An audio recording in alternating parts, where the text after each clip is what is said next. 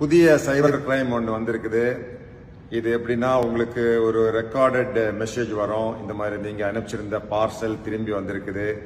எனவே இதை பற்றிய தகவல் தெரியணும்னா ப்ரெஷ் ஒன் அப்படின்னு வரும். நீங்கள் ஒன்றை ப்ரெஷ் பண்ணி என்னன்னு கேட்பீங்க இந்த மாதிரி நீங்கள் மும்பையிலிருந்து தைவானுக்கு அனுப்பிச்ச பார்சல் திரும்பி வந்திருக்குது. திரும்பி வந்தது மட்டும் இல்லை இது வந்து போதைப் பொருட்கள் எல்லாம் இருக்கிறது.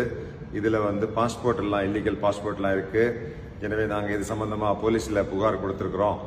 அப்படின்னு சொன்ன உடனே நீங்க ஷாக் ஆகி போயிடுவீங்க நீங்கள் இப்போ உடனே போலீஸ் ஸ்டேஷனுக்கு கனெக்ட் பண்ணுறோன்னு சொல்லி ஒரு நம்பருக்கு கனெக்ட் பண்ணுவாங்க. அந்த போலீஸ் ஆஃபீஸர் வந்து உங்கள்கிட்ட பேசும்போது அந்த ஸ்டேஷனுடைய வயர்லெஸ் செட் அதனுடைய கம்யூனிகேஷன்லாம் போயிட்டு நீங்கள் நம்பிடுவீங்க. இந்த மாதிரி உங்களுடைய ஆதார் கார்டு உங்களுடைய பேங்க் ஐடியை வச்சு தான் இந்த மாதிரி மோசடி பண்ணியிருக்கிறாங்க. போதைப் பொருளை ஏற்றுமதி பண்ணியிருக்கிறாங்க. உங்கள் ஆதாரை பயன்படுத்தி உங்கள் அக்கௌண்ட்டை பயன்படுத்தி நிறைய பல கோடி ரூபாய் பணம் வந்திருக்குது. உங்கள் மேலே வழக்கு பதிவு பண்ண போகிறோம் உடனடியாக விசாரணைக்கு நீங்கள் வாங்க அப்படின்னு கூப்பிடுவாங்க. நீங்கள் சொல்லுவீங்க இல்லைங்க நான் சாஃப்ட்வேர் இன்ஜினியர் நான் இந்த மாதிரி ஒர்க் பண்ணுறேன் நான் அந்த மாதிரிலாம் பண்ணுறது இல்லைன்னு சொல்லுவாங்க.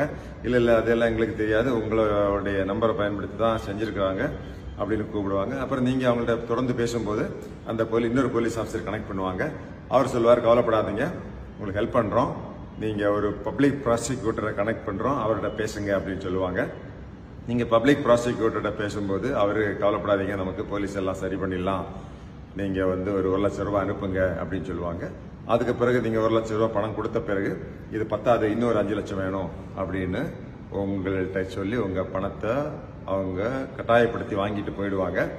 எழுபது கம்ப்ளைண்ட் இது போன்ற கம்ப்ளைண்ட் தமிழ்நாட்டில் இருந்து மட்டும் வந்திருக்குது இந்த வருஷம். இப்போ சமீபத்தில் சில நாட்களில் ரொம்ப உரச்சாராக இருங்க. இந்த மாதிரி ஃபெடாக்ஸ் கம்பெனிலேருந்து ஆட்டோமேட்டட் கால் வந்ததுனாலே நீங்கள் அட்டன் பண்ணாதீங்க. கட் பண்ணிடுங்க போன வருஷம் மட்டும் ரெண்டாயிரத்தி இருபத்தி ரெண்டு மட்டும் தமிழ்நாட்டிலிருந்து அறுபதாயிரத்தி அறுநூத்தி இருபத்தி மூணு வழக்குகள் கம்ப்ளைண்ட்ஸ் இது போன்ற சைபர் குற்றங்கள் நடந்ததாக கம்ப்ளைண்ட் வந்திருக்கு.